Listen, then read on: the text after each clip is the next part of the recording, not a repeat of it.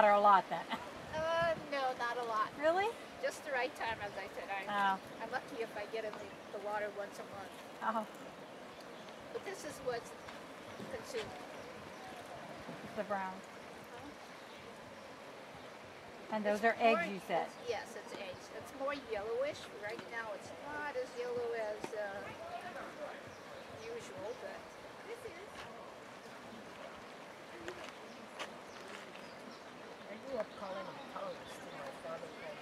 Yeah, because it sort of looks like a tongue.